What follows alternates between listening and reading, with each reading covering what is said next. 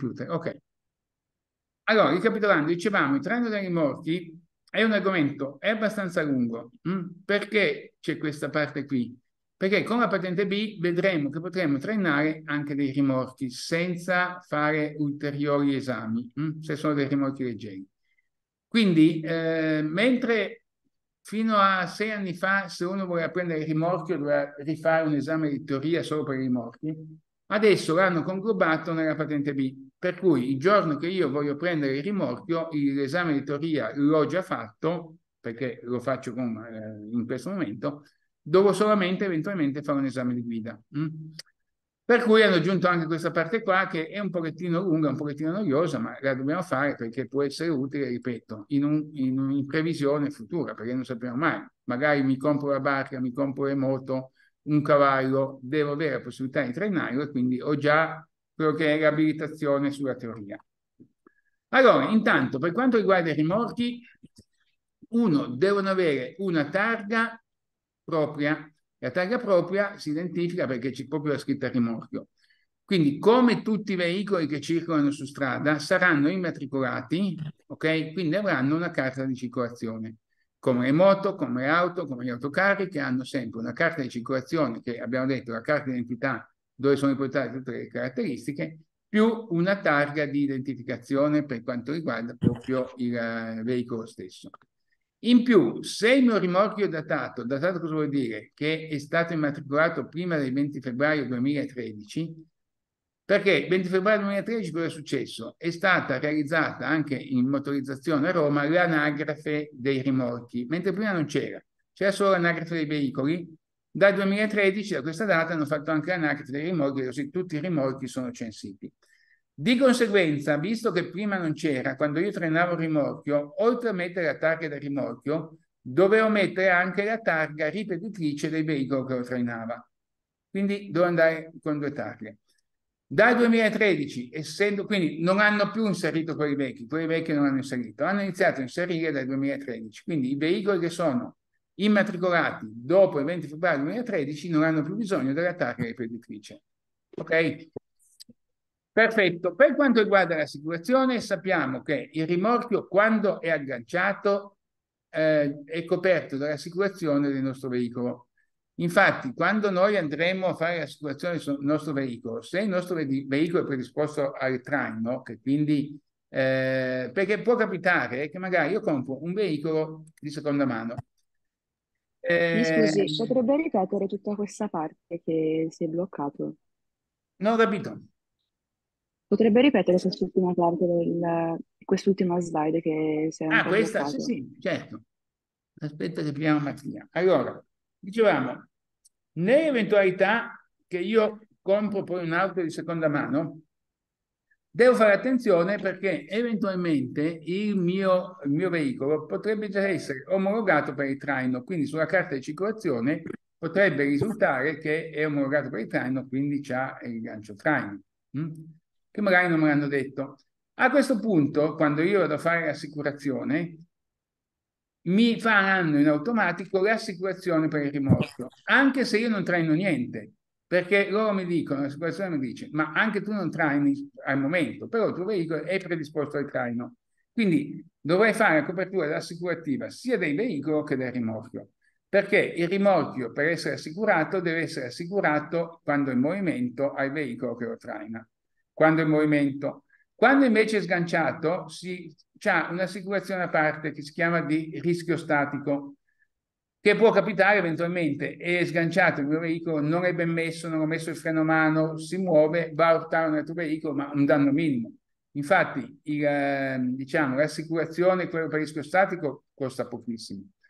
E invece quell'altra è evidente che se io non mi interessasse a me avere il gancio traino, devo togliere il gancio traino dalla carta di circolazione, perché per l'assicurazione il mio veicolo è predisposto al traino. Quindi che io aggancio o che non aggancio non, non interessa, avendo io la carta di circolazione, quindi il veicolo predisposto al traino, mi fanno pagare anche l'assicurazione sul rimorchio. Ok, quindi fate attenzione eventualmente, o comunque può interessare eh, il gancio traino. Sappiate magari adesso non lo uso, tra un anno mi compro la barca, mi compro un carrello per portare i cani, quello che c'è. può essere utile per qualsiasi cosa. E quindi il mio veicolo è già predisposto, pago già l'assicurazione, sono a posto. Mm? Quindi durante la circolazione i rimorchi devono essere assicurati con la stessa polizza della motrice. Quando sono staccati devono essere dotati di polizza per la copertura del rischio statico. Quindi praticamente devono avere due polizze. Una che è conglobata dentro quella dell'autovettura e l'altra invece quando sono staccati. Poi ricordiamoci, l'avevamo già visto all'inizio per chi c'era, o comunque lo ripetiamo adesso, tutti, tutti, tutti i rimorchi hanno dei limiti di velocità massimi che sono 80 km/h in autostrada e 70 sulle strade stradali. Indipendentemente che sia grande, piccolo, rimorchio per le moto, rimorchio per la barca, rimorchio per il caravan, sempre, sempre questi limiti di velocità, 80 e 70. E sono gli stessi limiti di velocità degli autotreni. Gli autotreni, che sono gli autocarri grossi che hanno motrice più rimorchio, hanno gli stessi limiti di velocità. Quindi non vuol dire niente che io traino la mia auto, traino solamente il carrello per le moto che è piccolino, devo avere massima la stessa velocità come se guidassi un autotreno, perché è un complesso di veicolo. Quindi ricordiamoci 80 in autostrada, 70 sulle strade stradali, sia principali che secondarie. Devo mettere questi dischi dietro, perché devo segnalare, avendo una velocità diversa, più bassa rispetto a quella degli altri veicoli, nella parte posteriore devo mettere questi due dischi che segnalano appunto che io vado piano perché sono limitato dal codice della strada. Poi tutti i rimorchi hanno il cosiddetto ruotino pivotante. Il ruotino pivotante è quello che io abbasso quando sgancio il rimorchio della mia motrice, della mia auto, lo abbasso per fare in modo che non tocchi il timone per terra. E poi mi serve anche per spostarlo, perché il ruotino pivotante si chiama pivotante perché è come quelli del carrello della spesa, che spingo, tiro, lui si sposta in base alla direzione che vado. Mi serve per fare delle manovre da fermo, quindi sgancio il mio rimorchio da fermo posso manovrare, posso parcheggiare e quindi devo abbassarlo perché questo qui quando sto viaggiando agganciato lo devo alzare perché è un ruotino piccolino, non lo posso lasciare a contatto del terreno perché si romperebbe tutto, è piccolo, serve solamente proprio come base d'appoggio quando il rimorchio è sganciato per le manovre. Infatti c'è la possibilità di alzarlo o di abbassarlo. Bisogna ricordarsi appunto quando io lo aggancio di alzarlo. Eh. Poi dobbiamo fare attenzione, gli organi di traino di un veicolo, allora gli organi di traino cosa, cosa sono? Li vedremo, eh, beh, dopo, eccolo qua. Sulla mia motrice abbiamo il gancio traino, ok? Il gancio traino, attenzione, deve essere omologato, quindi devo eh, rispettare quelle che sono le caratteristiche della casa costruttrice. Per capite che un gancio traino di una Panda non lo posso montare su, su che so, un BMW o viceversa. Questo qua è fisso il gancio traino, giusto? Eh? Questo qua è fisso, giusto? Sì, sì, eh, si dovrebbe togliere la parte eh, con i ganci. Eh, mi sa questo qua no. Oh, sì. questa parte qua o sì. si piega sotto i paraurti o si toglie, perché non posso viaggiare con il gancio che spunta fuori senza rimorchio, perché potrebbe essere causare incidenti, faccio retromarcia, possono andare a ruotare i veicoli, o anche gli altri veicoli non mi vedono avvicinandosi, potrebbero avere, subire dei danni. Quindi il mio gancio traino, che attenzione, il gancio traino non è solo la parte che vedo, eh, ma è tutta questa staffa qui che è collegata al mio terrario del mio veicolo. Quindi è per quello che deve essere omologato, per quello che io non posso montare un gancio traino che è stato omologato sulla Panda su un BMW. Per cui devo acquistare un gancio traino omologato per il mio veicolo avere le caratteristiche le schede tecniche di quel gancio traino. Chi lo monta non può essere un meccanico qualsiasi, ma deve essere un meccanico certificato da parte della motorizzazione. Infatti, una volta che è stato fatto l'allestimento, quindi montato, sarà cura di chi ha fatto il montaggio fare una scheda tecnica che ha eseguito il lavoro a riguardante, portare il veicolo alla motorizzazione per omologare il gancio traino. Quindi i, sulla carta di circolazione risulterà appunto che il mio veicolo è munito di gancio traino. Se io volessi togliere il gancio traino perché non mi interessa, perché lo voglio vendere o, o cosa, e lo voglio togliere, devo ritornare di nuovo in motorizzazione una volta che è stato tolto e rifare di nuovo l'omologazione che il mio veicolo non c'ha il gancio traino. Mm? Proprio perché il gancio traino comporta eh, la sicurezza che non, si, non deve staccarsi, non deve rompersi, quindi deve garantire sotto tutti gli sforzi, quindi salite, discese, quello che sono, dossi stessi ehm, che, il mio, che il mio rimorchio non si sganci. Ok? Allora, vediamo un attimino chi, chi è arrivato. Veronica, ok. Allora, Beh, il gancio traino, pertanto, avrà... Chi è? Sono io Ardita, posso farti una domanda, Beppe? Certo. Quindi ho capito bene che col gancio aumenta anche l'assicurazione? Sì, aumenta anche l'assicurazione, perché ti metto l'assicurazione anche del rimorchio. Quindi anche se tu non hai rimorchio, però sulla carta di circolazione risulta che c'è il gancio traino, te la fanno pagare lo stesso. Ok, perfetto, grazie. Ok, anche perché capisci, è un complesso di veicolo, non è più se agganci un veicolo solo, quindi aumenta la lunghezza, aumentano le dimensioni, quindi anche nelle manovre hai più difficoltà nelle manovre a fare, quindi loro considerano anche quelle eventuali possibilità di aumentare, aumentare le cause di incidente. Quindi dicevamo, il nostro rimorchio, il nostro gancio traino deve essere omologato, quindi ci deve essere una targhetta che specifica uno, quant'è la portata del rimorchio? Attenzione, io non posso ganciare tutti i rimorchi, eh, perché in base al mio veicolo, sulla famosa carta di circolazione che abbiamo visto che ci sono i posti, che ci sono se è benzina, se è gasolio o meno, ci sarà anche scritto una voce con scritto la massa rimorchiabile. Quindi se io ho una massa rimorchiabile di 3.500 kg, posso agganciare un rimorchio di 3.500 kg.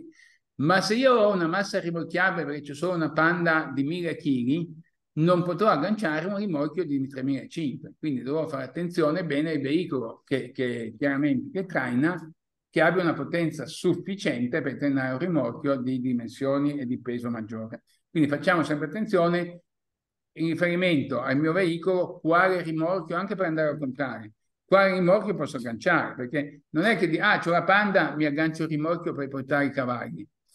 Non lo so se possiamo, eh, perché due cavalli minimo minimo sono 400 kg l'uno. E diciamo 800, 1000 kg tutto il rimorchio, arriviamo tra una storia e l'altra arriviamo su 2000 kg. Con la Panda non so se riesco a trainare 2000 kg, sarà 1000, 1000 ma forse 1000 kg. Quindi dobbiamo ben essere eh, consapevoli di quello che c'è scritto sulla nostra carta di circolazione e di conseguenza avere un rimorchio adeguato a quello che io posso trainare. Infatti se voi vedete i veicoli che trainano o roulotte o comunque gli animali, sono tutti veicoli grossi, sono dei SUV. È difficile vedere una panda, la panda può trainare il rimorchio, che ne so, per, per mettere le valigie, le borse, l'attrezzatura piccola, la retana del campeggio, quella roba lì, ok?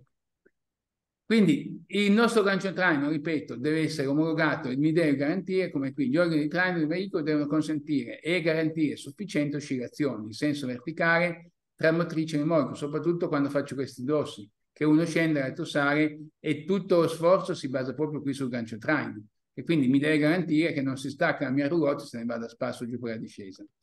In modo da compensare diverse inclinazioni dei veicoli dovuti a dislivelli stradali. Ma anche solo i dossi artificiali potrebbe dare dei sobbalzi, eh, perché certi dossi sono veramente ripidi.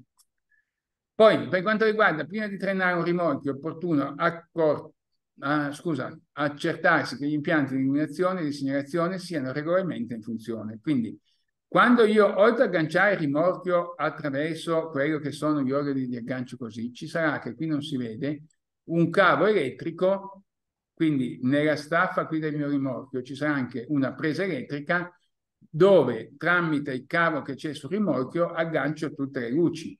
Perché io chiaramente, dato che le luci della mia motrice non si vedono, il mio rimorchio deve essere dotato anche lui di luci, le stesse che ho sulla motrice, quindi saranno gli stop, ci saranno le frecce, ci saranno le luci della targa, ci saranno eh, la retromarcia. Una volta che io ho agganciato il mio rimorchio dalla parte, diciamo, meccanica, quindi quello che è il gancio stesso, devo fare anche l'agganciamento della parte elettrica, mh? Hm? in modo da garantire che quando io freno si accendono gli stop di dietro. Quindi il gancio abbiamo detto che deve essere amovibile, non lo posso lasciare, quindi o si toglie tramite un, moschettone a farfalla oppure si può piegare sotto il parautili, dipende un pochettino dal tipo di veicolo che ho. Poi il gancio traino, ecco, dato che abbiamo visto è un, uh, diciamo, per la sicurezza è fondamentale che sia integro, se dovesse rompersi o danneggiarsi, non lo posso saldare, hm? lo devo sostituire completamente, perché saldato magari diminuisce quello che è la sua resistenza. Quindi va sempre sostituito in caso di che si fosse chiaramente danneggiato. Poi il carico come deve essere distribuito sul mio rimorchio? Devo distribuirlo in maniera chiaramente il più possibile su tutta la superficie, ma se ho un oggetto pesante che è indivisibile, ok, che quindi non lo posso dividere su tutta la superficie, lo metterò in corrispondenza dell'asse, che è il punto di contatto con la pavimentazione. Non lo metto né troppo in avanti, se no vado a influire negativamente qua, neanche troppo indietro. Mm? Quindi il carico va sistemato. Se un carico con tante borse o cosa, cerco di distribuirlo equamente su tutta la superficie. Altrimenti, se un carico fisso, unico, che è indivisibile, lo metterò sempre sulla parte dove appoggiano le ruote. Mm? Quindi per una maggiore sicurezza è consigliabile che il carico del rimorchio venga sistemato in modo che gli oggetti pesanti si trovino il più vicino possibile al suo asse. Ok, quindi qui vedete sotto l'ombra che si vede quello che è una roulotte. Se voi avete già per caso utilizzato la roulotte o il camper, avete fatto caso che nella parte bassa ci sono proprio gli alloggiamenti di tutte le borse, infatti si chiamano gavoni. Hm? Tutte le borse, tutta l'attrezzatura, se ho l'attrezzatura da, da sub, le bombole o quant'altro, viene messo nella parte bassa. Perché? Perché dobbiamo fare che, in modo che il baricentro, quindi tutto il peso maggiore, rimanga in basso. Nella parte alta, quindi all'interno dove ci sono i mobiletti, metto i piatti, metto i bicchieri, quindi roba leggera. Perché questo? Perché in curva, se io mantengo il baricentro basso, sbanda di meno. Se io ho il baricentro alto, c'è il rischio di eh, ribaltarmi maggiormente. Quindi anche la distribuzione dei pesi all'interno del rimorchio deve essere fatto con questo criterio qui. Le parti pesanti sempre nella parte bassa della, del, mio, del mio veicolo. Altrimenti, ripeto, alziamo il baricentro, alzando il baricentro c'è il rischio che effettivamente in curva, eh, soprattutto se c'è vento laterale, cosa, subiamo uno sbandamento. Poi, e poi, come dicevamo, cercare di sistemarlo equamente su tutta la superficie. Quindi eh, cercare quindi di non interessare solo una parte, perché anche qui poi dall'altra parte è più leggero e quindi sarebbe disassato quello che è il peso stesso, quindi potrebbe ribaltarsi soprattutto dove c'è più peso. Quindi cercare di non andare troppo in alto, ma metto abbastanza in centro se un, un peso unico. Se sono tanti pesi, metterlo nella parte bassa, quindi anche se abbiamo la roulotte, non riempire la parte alta, ma mettere tutto nella parte bassa. Vedete anche, se fate caso, gli autobus, eh, il portabagagli degli autobus è tutto basso. all'interno della cabina mi fanno portare una borsa piccolina, proprio perché se uno portasse dentro tutte le valigie, magari c'è gente che ha delle valigie che per 70 kg, e quindi sarebbe chiaramente l'autobus risulterebbe più pericoloso in curva. Mettendo nella parte bassa aumenta, diminuisce il baricentro verso il basso, quindi ha più stabilità. Poi la, sempre il mio peso deve essere distribuito anche qui equamente su tutta la superficie, quindi facciamo attenzione, le borse che metto più o meno lo stesso peso, fare in modo di coprire tutta la superficie, hm? sia destro che sinistro per evitare degli sbilanciamenti da una ruota piuttosto che dall'altra. Poi, trainando rimorchio, occorre verificare che il carico gravante sul gancio non alteri l'assetto del veicolo e l'inclinazione del fascio luminoso dei fari. Quindi l'agganciamento chiaramente lo dobbiamo fare in base a quello che è il rimorchio stesso. Può darsi che vari per il peso cosa un attimino, che quindi aumenta il peso sull'asse posteriore, aumentando della mia auto, l'asse anteriore tende ad alzarsi. Se si dovesse verificare questo, questo non è un grosso problema per quanto riguarda le luci, perché tutti i veicoli sono dotati di questo dispositivo qui che mi permette di variare l'inclinazione delle luci. Già su un'auto normale, da quando siete da soli a quando siete in 5, il fascio luminoso varia, varierà di magari una decina di centimetri o meno, però in base al peso. Chiaro che se io aumento il peso dietro, il muso si alza. È come una leva qua, quindi siamo vincolati qua, aumento il peso di qua, si alza di là, ok? Quindi aumentando il peso dovrò fare attenzione per il mio fascio luminoso, tanto lo vedo di notte, se il mio fascio luminoso diventa un'antiaerea e quindi eh, illumino gli alberi, è perché dovrò regolarlo in modo che vada sempre verso il basso, perché a me interessa illuminare la strada, non interessa illuminare gli uccelli. Poi attenzione quando abbiamo le brusche frenate che il nostro rimorchio tende ad andare in avanti, con lo stesso effetto che c'è sull'autobus, quando siete sull'autobus che l'autista frena di colpo e voi non mi tenete. Se non mi tenete, continuate ad andare avanti con la stessa velocità con cui state viaggiando, con cui sta viaggiando l'auto. Questo per l'inerzia. Quindi tutta la, le borse, bagagli o comunque tutto quello che c'è all'interno del mio rimorchio, quando sto viaggiando deve essere sistemato, chiuso. in modo chiaramente che non venga proiettato in avanti in caso di brusche frenate o indietro in caso di accelerazione. Ed è per questo che quando viaggiamo è vietato stare sul rimorchio. Quando siamo in viaggio il rimorchio deve essere libero, non, non ci deve essere nessuno dentro, per motivi di sicurezza appunto. Quando, e quindi devono essere tutti nell'autovettura. Il rimorchio lo utilizziamo, quindi la nostra roulotte a veicolo fermo, ok? Quindi possiamo utilizzarla. Proprio per motivi di sicurezza, perché a parte che non ci sono le cinture di sicurezza dentro il rimorchio, quindi sarebbero le persone sballottate. Cosa contraria invece il camper, perché il camper è tutto il veicolo che c'è anche la parte posteriore e quindi ci sono cinture di sicurezza e quindi è un veicolo dove si può stazionare anche nella parte posteriore mentre si viaggia. Mm? Questo essendo sganciato dietro non possiamo. Poi potrebbe capitare che io non, non guidi un rimorchio non solamente trasporto persone, eh? potrebbe capitare che guidi un trasporto merci, ad esempio una cisterna. Ad esempio, devo andare a, in cantiere, dove ci sono le macchine operatrici che stanno lavorando in mezzo, in mezzo alla strada, che quindi non hanno la possibilità di avere rifornimento di, di gasolio o cosa. Ci sono delle cisterne apposite che io viaggio, lo aggancio al mio veicolo e vado a fare rifornimento alle varie macchine operatrici che sono sparse lungo tutto il tracciato dei, dei lavori. Dobbiamo considerare il famoso sbattimento del mio liquido se la cisterna non è completamente vuota, perché il mio liquido in curva tende a oscillare. Quindi, se la cisterna è completamente piena o comunque ha un 80%, diciamo, il liquido non si muove perché occupa tutta la superficie. Ma quando inizia a svuotare la cisterna, arriviamo al 60-50%, in curva diventa molto pericolosa perché praticamente il liquido tende a muoversi nella direzione che, che va la curva. Di conseguenza rischio che se vado troppo veloce eh, si ribatte il mio rimorchio se io non ho una velocità sufficientemente lenta che mi garantisca di ridurre quello che è l'effetto dello sbattimento. Poi, attenzione, più il liquido è denso, chiaramente lo sbattimento è molto più lento rispetto acqua o benzina rispetto dell'olio. L'olio è molto più denso e quindi il movimento sarà molto più lento. Quando io ho finito la curva con il mio veicolo che sono già ritornato dritto, questo inizia ancora a, a essere su, proprio per la densità. Quindi dobbiamo anche lì fare attenzione quando io trasporto qualcosa, considerare la possibilità di ribaltamento in curva se non sono completamente pieno. Mm? Quindi instabilità. Poi, anche per quanto riguarda le superfici, caravan o roulotte hanno una superficie molto più ampia rispetto alla nostra autovettura, sono più leggeri rispetto alla nostra autovettura. D'altronde, se avete presente come un caravan, praticamente è tutto polistirolo, ok? Quindi il telaio è tutto in, in, in alluminio leggero leggero. E qua tutto polistirolo per renderlo leggero. E coinventato per il caldo e il freddo. Quindi, essendo leggero, se ci sono delle raffiche di vento improvvise, è facile che ribalti, perché la superficie è decisamente maggiore.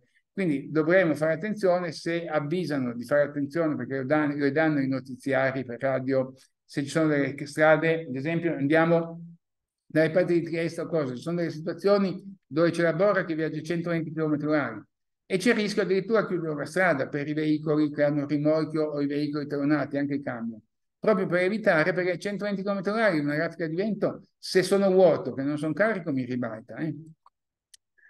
Poi, allora, le parti meccaniche come tutti i veicoli hanno delle parti meccaniche in movimento, hanno le ruote, hanno i freni, hanno gli ammortizzatori, hanno le sospensioni qua, il ruotino, quindi devono essere anche qui lubrificati. Tutto quello che è in movimento deve essere manutenuto, quindi pulito e lubrificato, soprattutto quando finisco la stagione. Quindi dovremo fare attenzione, ripeto, uso manutenzione che mi dirà i punti da ingrassare. Quindi saranno dei punti dove dovremo mettere del grasso in modo soprattutto eh, in caso di pioggia, comunque mai tempo, visto che le ruote sono a contatto del fanno lo stesso cosa, il grasso faccia da schermo protettivo e non mi usuri quelli che sono i cuscinetti o tutti gli organi in movimento. Mm? Quindi le parti meccaniche in movimento degli organi di traino di un rimorchio devono essere mantenute pulite ed adeguatamente lubrificate. Il libretto uso manutenzione mi dice come fare. Poi, quando io non lo uso, perché normalmente il mio rimorchio, soprattutto se per la barca o la roulotte, lo dopo nei mesi estivi, d'inverno è difficile che lo dopo. Hm? Di conseguenza, cosa dobbiamo fare? Lo mettiamo in garage, lo mettiamo, ricordiamoci che il rimorchio non lo posso lasciare sganciato per la strada, eh? è vietato lasciare i rimorchi liberi per la strada. Quindi mettendo nel mio garage farò in modo che le ruote non tocchino per terra. Perché non toccano per terra? Perché se io lascio sei mesi il mio veicolo, il mio rimorchio, senza avere la cura di aumentare la pressione o comunque spostarlo, la parte bassa che ha contatto col terreno dopo un po' si appiattisce perché la pressione scende per lo stesso. Quindi vado poi a prendere il rimorchio dopo sei mesi, qua è proprio piatto. Quindi mentre giro non ne accorgo, ne accorgo, cioè me ne accorgo quando giro. A me era capitato, era capitato addirittura quando ero giovane e forte, che non, a volte tante cose si imparano con esperienza, lasciare la moto, non l'avevo lasciata sul cavalletto, l'avevo messo solo sul cavalletto laterale, non l'avevo più usata, sono andato a prendere la parte proprio bassa dei pneumatici, si è ovalizzata e quindi quando andavo in moto, bom, bom, bom, sentivo quello, ho dovuto cambiare i gomme. Quindi o ci compriamo i cavalletti e lo solleviamo, quindi non tocca niente, o eventualmente aumento la pressione. Se mettiamo la pressione normale sarebbe 2 bar, la porto a 4 o 5, tanto non scoppiano. E ho diciamo, l'accortezza almeno una volta al mese di andare a spostarlo. Basta solo di 20 cm, eh, che vario quello che è il punto di contatto. Per cui siamo tranquilli che quando lo andrò a prendere non abbiamo le ruote ovalizzate. Dicevamo della pressione, la pressione, ogni, ogni veicolo ha la sua pressione, quindi non posso gonfiare eh, i pneumatici del mio rimorchio alla stessa pressione della motrice. Quindi il libretto usa manutenzione della motrice della mia auto per sapere quanto devo gonfiare le gomme. Il libretto usa manutenzione del rimorchio per sapere quanto devo gonfiare le gomme del rimorchio, anche perché sono gomme completamente differenti, non sono lo stesso pneumatico. Poi lo dicevamo prima, per quanto riguarda la sagoma del mio veicolo, il rimorchio normalmente è più largo di quello che è la mia autovettura. Di conseguenza, gli specchietti normali, che sono questi qui, a volte non mi bastano, perché lo specchietto normale mi riflette se dai il mio rimorchio e io non vedo niente. Per cui abbiamo la necessità di comprare degli specchietti aggiuntivi che metto di fianco ai miei specchietti normali in modo da vedere anche oltre rimorchio. Però attenzione, non posso mettere qualsiasi specchietto, eh? perché la sagoma che vado ad aggiungere sul mio specchietto non deve superare i 20 cm di quello che è la parte più esterna del rimorchio. Quindi 20 cm calcolerò, diciamo, tirando una linea retta di fianco al mio rimorchio arrivando allo specchietto. Massimo posso sporgere 20 cm per parte, eh, chiaramente, quindi 20 di qua e 20 di qua. Con gli specchietti sono, eh? Quindi i compressi veicolari, specchi montati sulla motrice, non devono sporgere oltre 20 cm dalla sagoma del veicolo, motrice o rimorchio, con riferimento al punto di maggior larghezza. Mm? Poi lo spunto in ripresa è più lento quando si sta in un rimorchio, e beh, questo qui eh, è facile immaginarlo, anche quando io vado, vado, con uno zaino sulle spalle, devo fare una corsa, faccio più fatica rispetto a quando sono senza. È sempre qualcosa che mi trascino dietro, anche se questo su ruote comunque sarà 500 kg, sarà 1000 kg, a parità di, di velocità impiego più tempo per la velocità. Ok, quindi dobbiamo considerare di conseguenza cosa comporta? Dei consumi maggiori, dell'usura maggiore per quanto riguarda i freni stessi, perché quando freno chiaramente questo mi spinge. Quindi avere un rimorchio agganciato dobbiamo avere un veicolo, per quello che bisogna avere un veicolo con una buona potenza, perché non devo sopperire su quello che è il peso stesso che mi porto dietro. In salita poi il pericolo qual è? Che aumenti eccessivamente la temperatura, soprattutto d'estate, giorni come, come, adesso che fa caldo, in salita già il motore fa fatica, ancora se un, un rimorchio agganciato, c'è il rischio effettivamente che il motore subisca chiaramente una temperatura maggiore. Quindi dobbiamo fare attenzione alla spia che non si accenda la spia. Se si dovesse accendere dobbiamo fermarci, lasciare riposare un attimino il motore perché in effetti rischiamo di andare in ebollizione e quindi dobbiamo raffreddarlo. In discesa cosa comporta? In discesa questo spinge.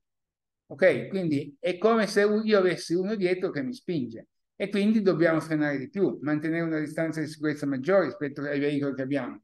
E in effetti sarà poco, ripeto, sarà 500 kg, sarà 1000 kg che comunque mi spingono e di conseguenza una maggiore usura per quanto riguarda anche i, i freni mia, del mio veicolo. Ok? Scusate un attimo che qui... Ok. Quindi Guidare un rimorchio, ripeto, è per quello che comporta, bisogna fare anche poi delle prove, non perché ho preso la patente e posso cancellare qualunque cosa. prima di agganciare qualunque cosa, un minimo di prove bisogna fare. Eh? Altro problema del mio rimorchio, in curva non mantiene la stessa angolo della motrice, ok? Tende a chiudere. Quindi l'angolo che, la, la rotazione che fa il rimorchio rispetto alla matrice più stretta.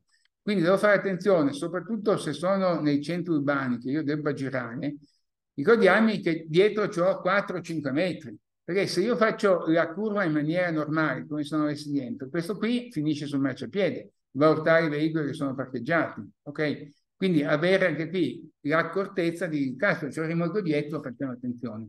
Lo stesso anche nelle curve più ampie, hm? quindi anche nelle curve sul, in montagna o cosa, ricordarmi che dovrò mantenermi un pochettino più distanziato rispetto a quando sono senza motrice, senza rimorchio. E infatti quello che dicevo, se io stringo, non faccio la mia curva normale, il mio rimorchio va sul marciapiede, quindi o sul marciapiede e quindi c'è il rischio di prendere persone, o se ci sono le auto parcheggiate mi faccio tutte le auto parcheggiate.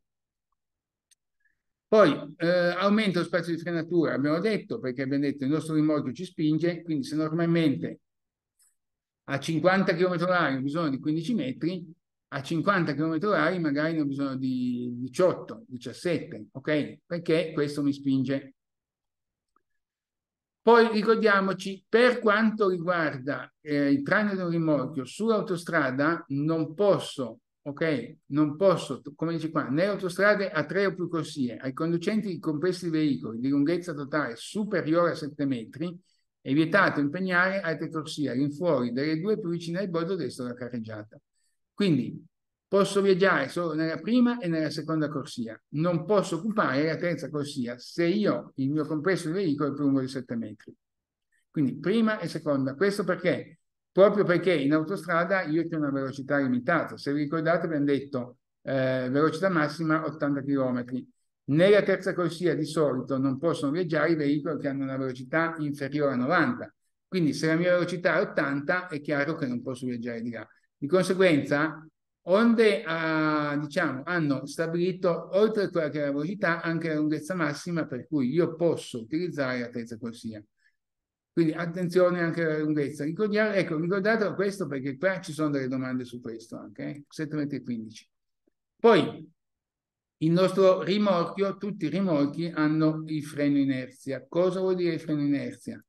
Allora, il freno inerzia, perché chiaramente il mio veicolo, abbiamo detto, tende a spingermi, però deve avere la possibilità di frenare perché non posso basare la frenata in discesa solamente con i freni dell'auto. Anche, anche, il mio rimorchio deve essere, avere un impianto frenante.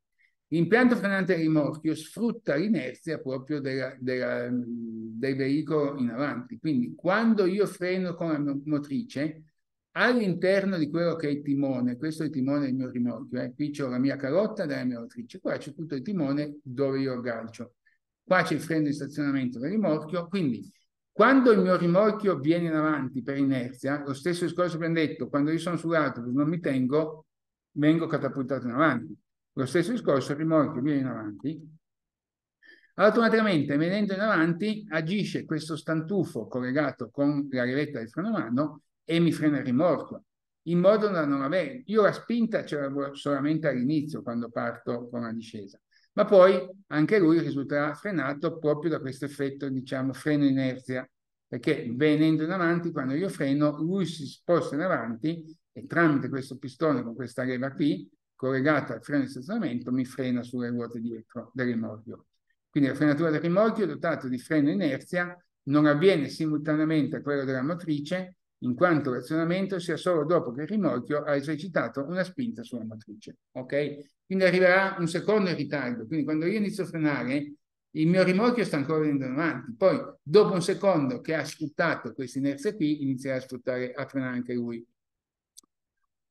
Quindi nel rimorchio è presente un dispositivo di emergenza che in caso di sganciamento occidentale aziona automaticamente il freno di stazionamento. Questo cavo qui è un cavo d'acciaio quando io inserisco il timone del mio rimorchio sulla, sulla mia, sul gancio della mia auto, prima di mettere proprio tutto il timone, vedete, questa è la sfera del gancio del mio rimorchio e questa è la calotta del rimorchio, ok? Prima di mettere la calotta, la calotta sulla sfera, dovrò inserire questo cavo d'acciaio, è un cappio.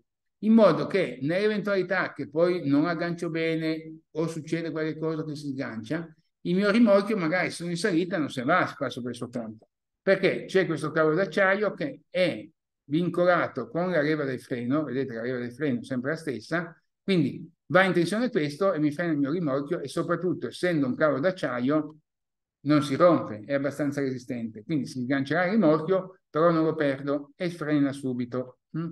Quindi l'importante è ricordarsi di, di agganciare questo, perché se non lo aggancio sono senza freno di sicurezza. Poi, ecco qui, questo ritorniamo un attimino su quello che dicevo prima, che non posso agganciare tutti i rimorchi in base al veicolo. Quindi abbiamo detto, non posso agganciare, ad esempio, un rimorchio che pesa 1500 kg su una Panda. Quindi devo considerare quello che è il rapporto di traino. Quindi se si tratta di un rimorchio privo di qualsiasi tipo di sistema di frenatura, il rapporto di traino tra motrice e rimorchio deve essere 0,5. Quindi ci sono dei rimorchi che sono piccolini, ma sono più che l'erbendice, eh, quelli. Comunque, che non hanno i freni, non hanno proprio nessun freno. A questo punto lo posso agganciare? Sì, però attenzione, nell'eventualità che non abbia freni, il rapporto di traino è 0,5. Cosa vuol dire? Che se il mio veicolo pesa 1400 kg, il rimorchio al massimo ne deve pesare 700. Mm? Se invece il rapporto di traino, il mio eh, rimorchio è dotato di freno inerzia, come quello che abbiamo visto, abbiamo da considerare il rapporto di traino 1 a 1, cioè parità. Quindi se mio, la mia motrice pesa 1750 kg, il mio rimorchio può arrivare anche a 1750 kg, perché in questo caso è dotato di freni. Quindi il rapporto di traino entro i limiti di quello tecnicamente ammesso per il veicolo non deve superare il valore di 1 nel caso di rimorchi muniti di freno di servizio e di massa fino a 3500 km. Allora, io mi devo fermare qua. Vi avevo detto che purtroppo il discorso dei rimorchi è abbastanza lungo. Mm? Ora, ditemi voi, se avete piacere, questa sera che vado avanti e terminiamo tutto il capitolo dei rimorchi, o se preferite che stasera ripeto questa parte qui e domani terminiamo tutto il capitolo. Ditemi voi come volete. Per me andrebbe benissimo terminare oggi. Perché io stasera non riesco a partecipare con i bambini. Ah. Io ci sono. Non lo so. Anch'io. Io ci sarei. Quindi ditemi voi, io mi, mi, mi baso su quello che volete voi. Io, io ci sono. Selezione. Eh? Beppe, se in tal eh, caso non c'è ardita, Beppe, se in tal caso non c'è ardita, possiamo registrare in modo che lei lo recupera? Sì, certo, assolutamente sì. Ricordatemi che magari poi, poi okay. eventualmente Ardita, se poi hai qualche problema, me lo dici, te rivediamo assieme eventualmente. Ok? Ok, va bene, Beppe, perché io purtroppo la sera, avendo i bambini, mi viene difficile. Beh, no, no, ti capisco.